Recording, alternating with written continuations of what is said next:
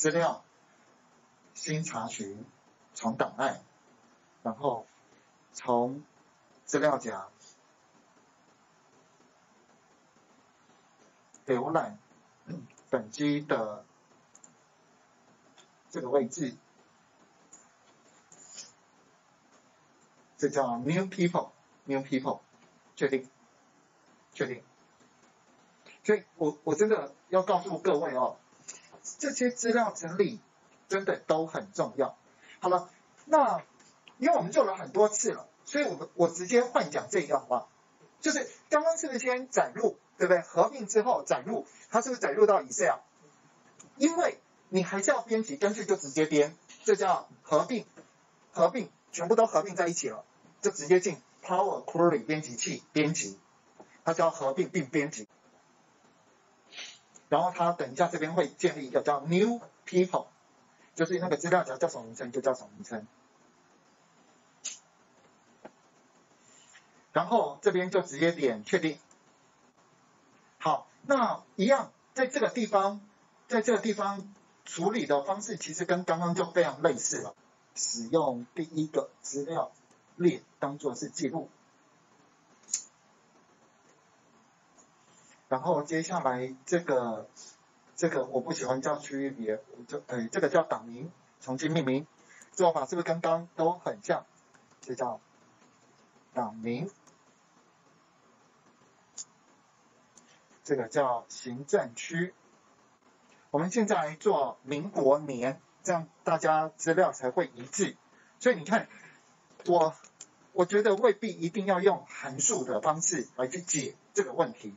我们也可以用别招。首先，我就复制复制这个资料行。复制完这个资料行之后，就是滑鼠右键针对这个栏名，滑鼠右键，然后复制资料行，就产生了一模一样的内容。接下来，请用取代值，把那个点 CSV 全部都变成没有，确定。啊，对不起，刚刚刚刚应该还要多一个叫做 Y，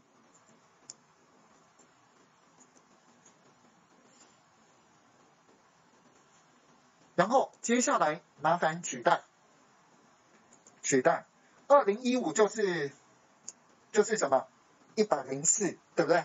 一零四，确定，这样是不是就就完成了二零一五年的取代？再继续。取代。二零一六一零五，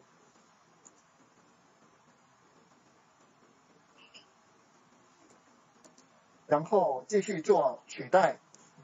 二零一七一零六，这这是当可能只有四个五个的时候，但是但是我要告诉你，其实其实我有试过。反正在教函数的时候，就是会比较慢，用这样的方式，反正大家听就听懂了。继续，还有三年，取代值二零一八，取代变成一零七，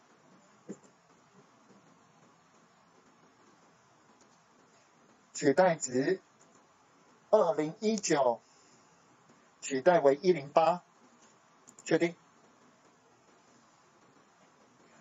最后一个取代值二零二零一零九，确定，然后记得把它改成民国，所以重新命名，这是民国年。请问民国年应该是文字还是数字？文字，来记得把它搬到应该在这边，对吧？然后就可以常用关闭了。这个是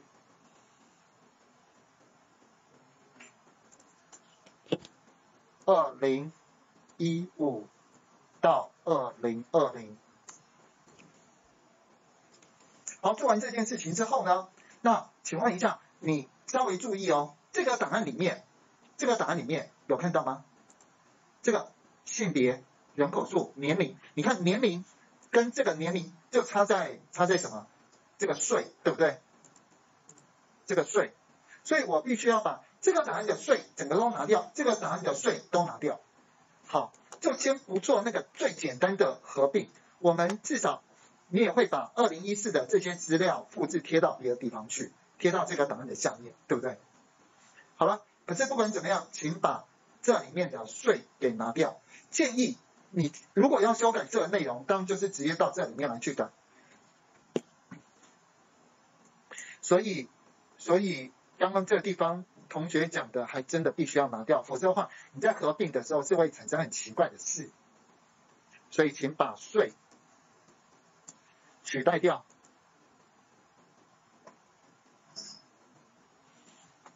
那它是文字还是数字？我们就把它改成整数好了。好了，就可以关闭。因为是为了配合这边嘛，这个档案，所有的档案你都要一致，你都要一致。它之所以会靠右对齐，就是因为它是数字。然后接下来这个快这个 New People 快速点两下。接下来取代，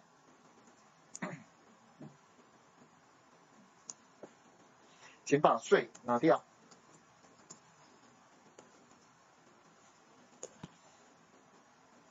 所有的文字改成整数，然后接下来就是合并喽。不过现在暂时我先教一个。不太合适的方法，但它是最简单的方法。好，画面借我用一下。我们先把这张工作表复制，复制到最后面，建立副本，可以吗？然后确定，是不是多了一个？对，我知道这快速键，你们可能有人就是 Ctrl 键按住，然后直接拖印。这个我们就名叫做人口数，人口数，人口数。然后接下来请选二零一四年从这一格开始，一直到最后面。嗯，光是这样子就还蛮多的，十二个行政区这样也选了蛮，选到两千多哎。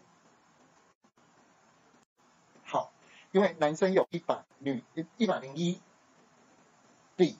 一个行政区就一百零一，好，复制，常用底下的复制，然后贴到人口数的最上面，贴上，对不对？二零一三就接二零一四，然后拉到最下面，再接下来就是这里，选到最后面，复制，到人口数贴上。可以吗？有没有看到？这边是数字，这边是文字。好，来，就至少你这样子，你完成了这个人口数。